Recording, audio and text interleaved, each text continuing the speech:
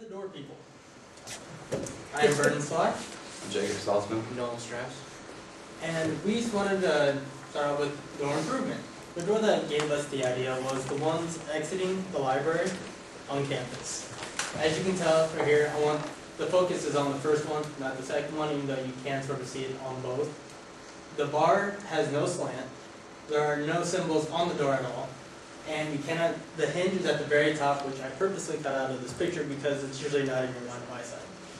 So, I also want to show that this is not just at the library, this is also at the Science One building, which are the only two I came in, I noticed, but I haven't been in all the buildings on campus. Of course, it depends on when they were built and etc. And same thing here. There's, it's just a flat bar, there's no slant to make you lean a certain way. And the amazing thing actually about this door is that it's actually against our social norms. Because you usually enter and exit the same door that you walk into a building, except these have two separate ones and they both lean the same way, which you're used to them switching. Because you want to, let's say, if you go in, pulling on a right, or pulling on the left to go to the right to enter, you're going to expect to open the opposite way. But these go the same way, so you get stuck. And we wanted to try to figure out how to fix the problem without changing the door, just very minimal cost, and just try to keep it as simple as possible. Answer some of the important questions about our thing. Who would be the simple one? We wanted to be anybody who used the door at all.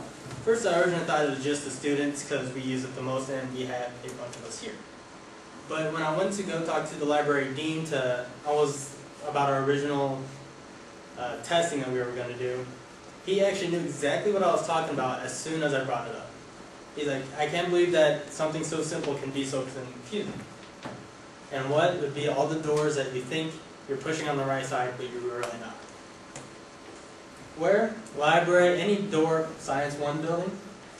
When? When you try to exit, most of them aren't entered because, or when you enter, because of the laws that are in place that all doors have to open outside for fire escape purposes. So you don't have too much of a confusion because there's a handle. There's some significant purpose of something there. So you have no confusion. And why? Because we use doors every day. You cannot go, well, where can you go without using a door?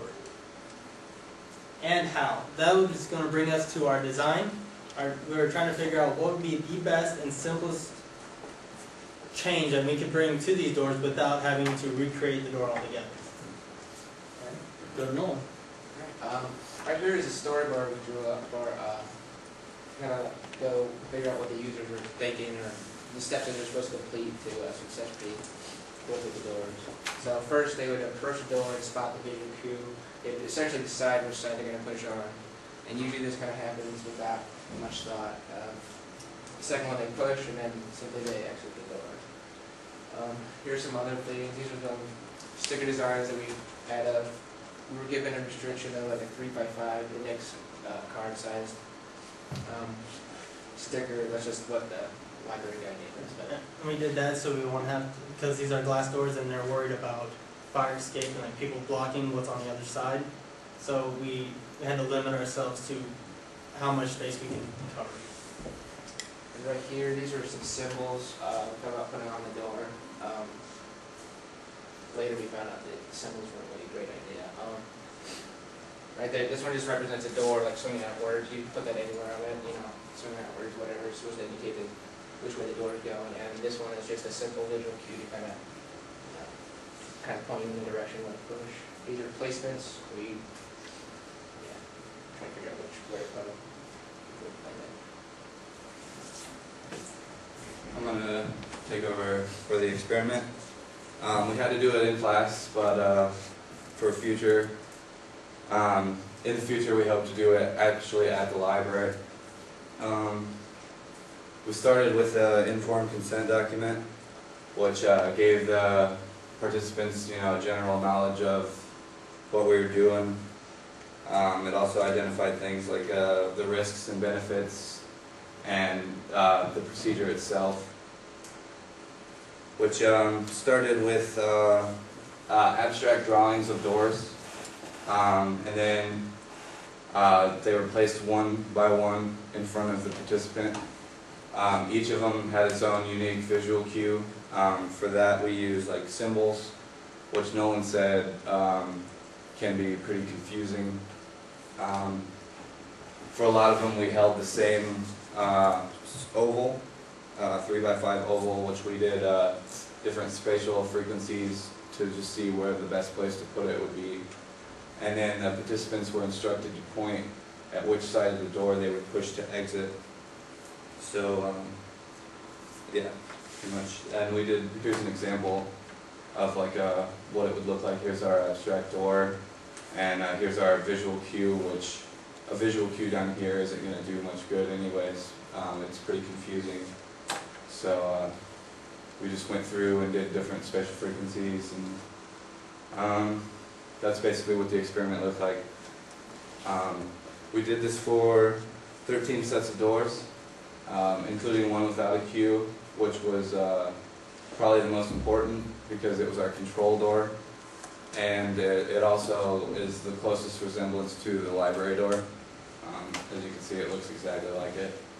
So um, that's what we use for control. Um, for the answers, we predetermined which uh, was the correct and incorrect um, action to each door, and we created a key so we could do the results and just refer back to the key um, to determine the correct action um, and score accordingly.